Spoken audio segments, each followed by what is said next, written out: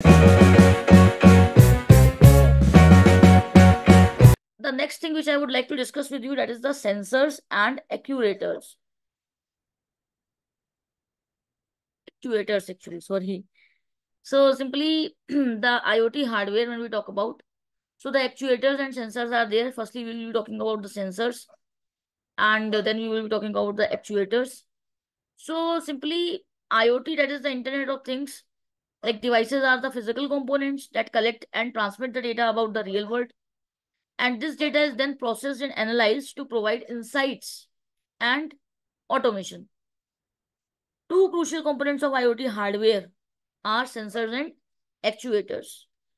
So when we talk about sensors, sensors are the devices that detect and respond to physical stimuli such as light, heat, motion, pressure, etc.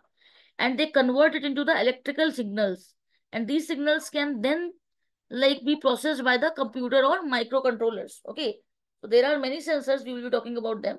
Sensors basically detect and respond to the physical stimuli like uh, light, heat and all. Then the first one is the temperature sensor. As the name implies, you can see the image also, it is here, digital temperature sensor. So it measures the temperature and it is commonly used in the thermostats, weather stations and uh, industrial processes. So this is a kind of a uh, sensor and it is very important also. It is used a lot. It is a hardware device. And uh, simply temperature sensors are devices used to measure temperatures. They come like uh, you can say like thermocouples are there, RTDs are there, like resistance temperature detectors, thermistors are there, infrared signals, those kind of stuff. Like applications of temperature sensors could be the industrial processes, monitoring and controlling the temperature in manufacturing process. HVAC systems are there. So HVAC system, if we talk about that is ensuring the proper functioning of the heating, ventilation and air condition system. That is HVAC. Then that is also used with the help of temperature sensors because it can detect the temperature. Then medical devices like uh, monitoring body temperature in various medical applications. Automotives also is the one application like measuring engine, uh, engine and uh, exhaust temperature for better performance. So in the consumer electronics also it is used overheating protection and uh, simply the battery management in devices like smartphones and laptops. There also the temperature sensors are inbuilt. Then the humidity sensors are there. So as the name implies, obviously it is for the humidity. Okay, so these sensors can detect the amount of water vapor in the air. And you can see this uh, image also, it is here. And it is used in the weather stations, greenhouses and HVAC systems. So humidity sensor measures and reports the moisture and uh, air temperature to the environment. Uh, sorry, in the environment and uh, they are crucial in various applications like from weather monitoring to HVAC as I told you. So manufacturing processes and even in the smart home devices also, there are different types of humidity sensors including the cap uh, like uh, capacitive, resistive and uh, thermal sensors and each with its own methods of uh, measuring humidity. So there are different types of uh, humidity sensors when we talk about the applications of the humidity sensors, where it is used in the weather stations, weather monitoring. So it is used in the weather station to measure atmospheric humidity and uh, important for predicting weather patterns and understanding climate conditions also. Then in the HVAC, when we talk about, so it helps in the, like it, it maintain comfortable and safe indoor air quality by monitoring the monitoring and computer uh, sorry monitoring and controlling the humidity levels and it prevents the like prevents mold growth and improves energy efficiency in the manufacturing processes also the humidity sensors are used. And uh, in the food processing textile and it helps to maintain the product quality and consistency also. In smart home devices also it is used to inco like it incorporates the smart uh, you can say thermostats and indoor air quality monitoring. So there are a lot of uh, implementations of it. Next one is the light sensor.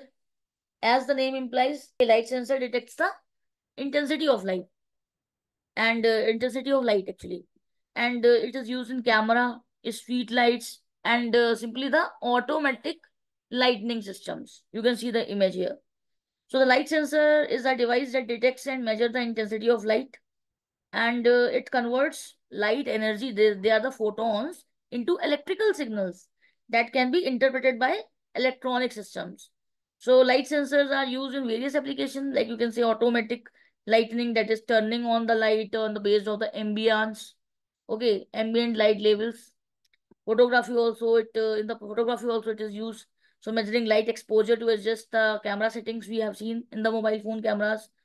In the display also, like uh, adjusting screen brightness based on the surrounding light we do in our laptops even in the safety also detecting changes in the light for security systems okay according to the security the light will be changed so common type of light, sens light sensors are like simply the ldrs ccds like charge coupled devices you know and each type has its own specific applications and sensitivity to different light wavelengths okay then the motion sensors are there and you can see one uh, image there for the motion sensor.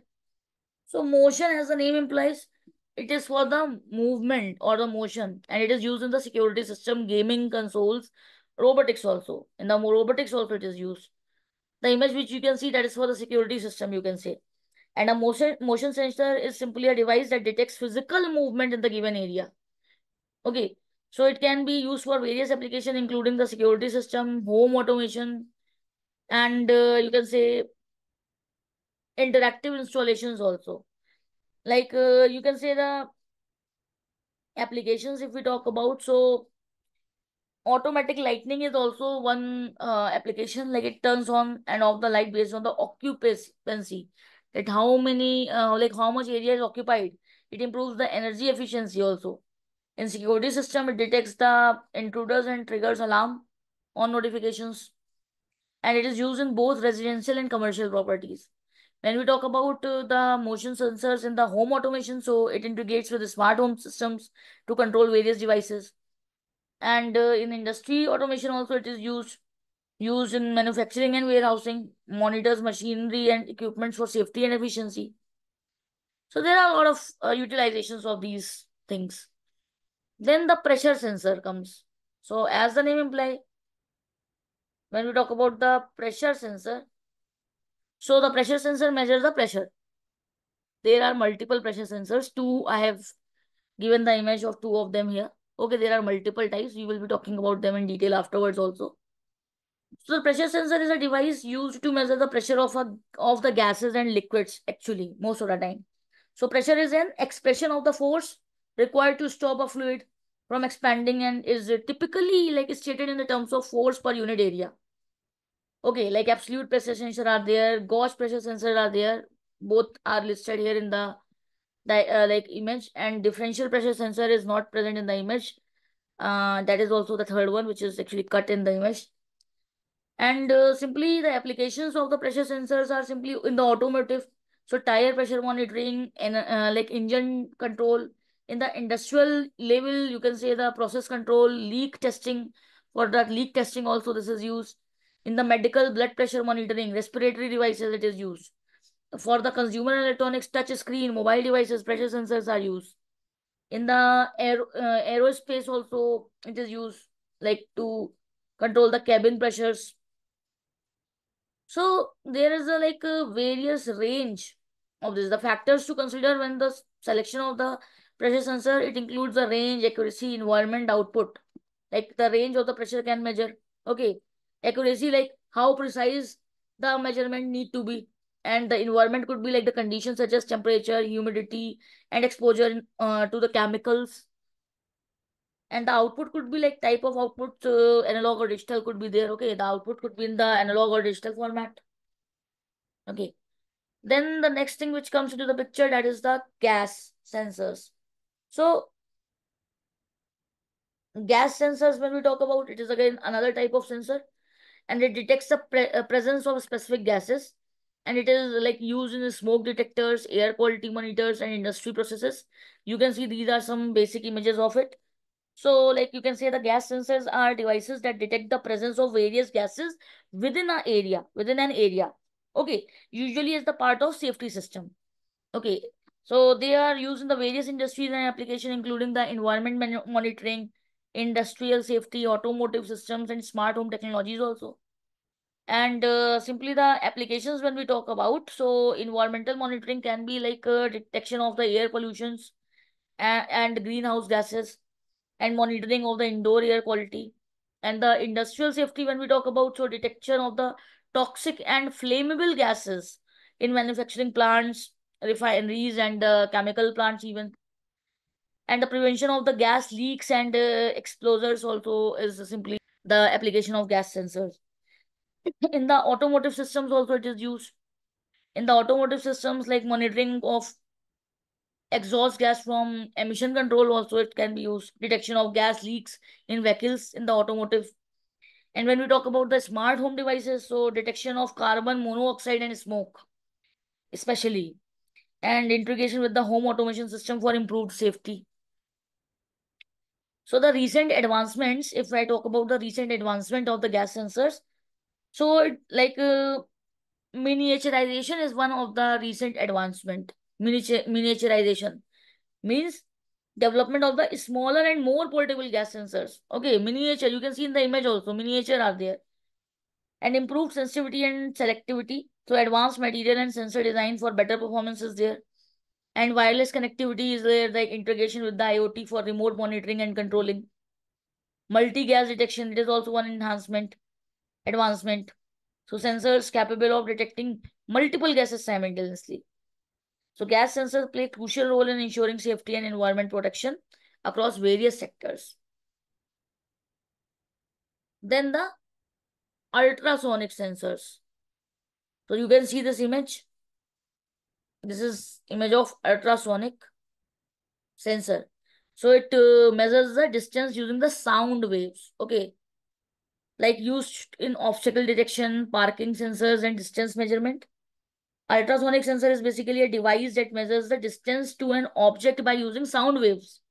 And it operates on the principle of uh, echolocation, you can say. Okay, similar to how bats and dolphins navigate and find objects. Key components in the ultrasonic sensor is simply the transmitter and receiver and control circuit. Three key components are there, transmitter, uh, sorry, transmitter, receiver and control circuits. Transmitter emits the ultrasonic wave, receiver detects the reflected wave, and control circuit process the received signal and calculate the distances. And how it will be calculating the distances? With the help of like the formula distance equals to speed of sound into time upon 2. Distance equals to speed of sound into time upon 2. Okay, the division by 2 is necessary because the sound wave travels to the object and back. Okay. When we talk about the applications of the ultrasonic sensor, so obstacle avoidance is one of the obstacle avoidance, like detection and avoidance. So in robotics, ultrasonic sensors help in robot detect obstacle. The robot will be able to detect the obstacles and navigate around them. Distance measurement. So uh, like uh, in distance measurement, you can say it is used in various applications uh, where uh, like precise distance measurement is required, such as level uh, measurement in the tank or bins.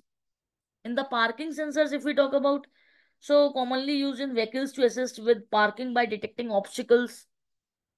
Proximity detection can also be done like in industrial automation.